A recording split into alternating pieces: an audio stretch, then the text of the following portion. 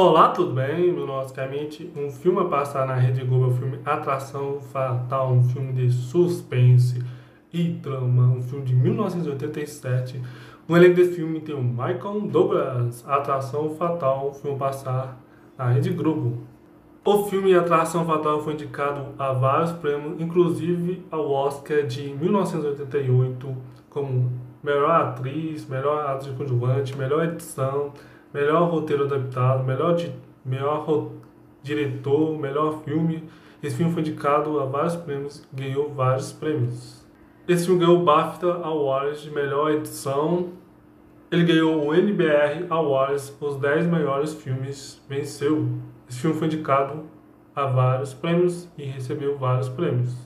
Atração Fatal. O advogado Dan tem um breve caso com a executiva Alex, que começa a exibir um comportamento descontrolado e obsessivo quando ele termina o romance. Alex não aceita ser rejeitada, a começar a fazer da vida do ex-amante um verdadeiro inferno. Atração Fatal, o filme custou 14 milhões, ele arrecadou 320 milhões no cinema. O filme possui crítica de 75% no site Rotten Tomatoes, crítica, crítica positiva de 75%. Esse filme vai passar na Rede Globo, o filme tem o Alex é, Michael Douglas. Você curtiu essa notícia? Até a próxima e tchau.